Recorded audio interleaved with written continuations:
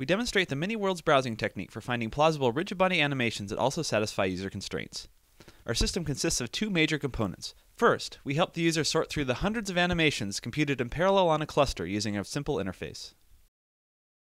Second, the user can use refinement to help guide the system towards a particular desired solution. In this example, we have pre-computed a database containing 1500 possible motions. Constraints help limit the set of possibilities. A positive constraint, in green, tells the system to only allow motion paths that pass through the selected region. A negative constraint, in red, allows only motion paths that do not pass through the selected region. Users can apply the constraints to particular objects, such as this rock, or to collections of objects, such as the bricks in this tower. Metrics help the user sort through the remaining motions. Here we show an example of minimizing angular energy and an example of maximizing angular energy.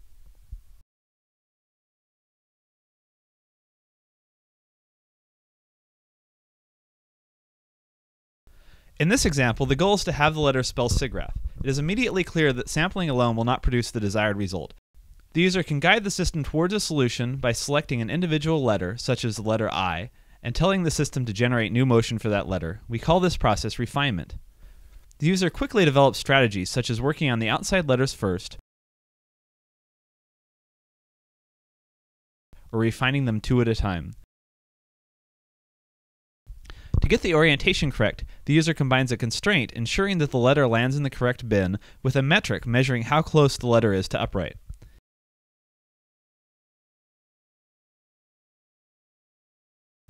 Here is the final result.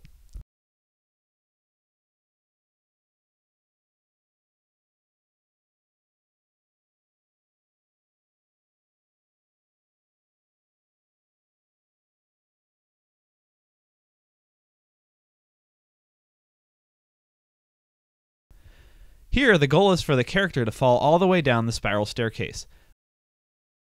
With refinement, we can chain together improbable events, such as the character catching his leg.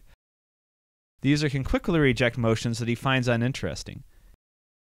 Here is the final result.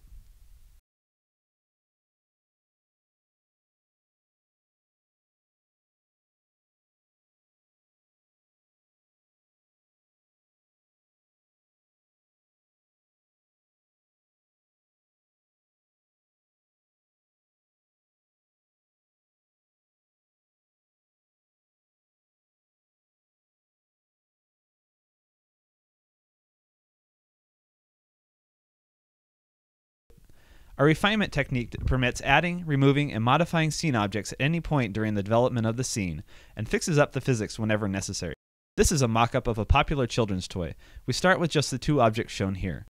Sampling quickly shows that it will be extremely unlikely to get the ball into the cup, so the user simply moves the cup to the left. It is marked red to indicate that it has changed from the original scene, which serves as a visual indicator to the user that the physics may be affected.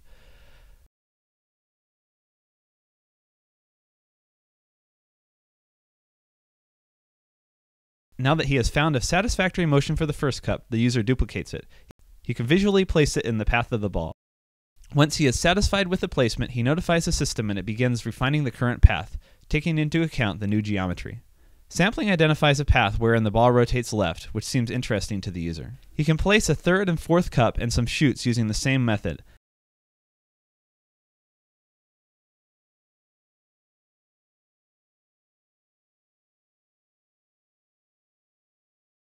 After some ensuing experimentation, here is the final result.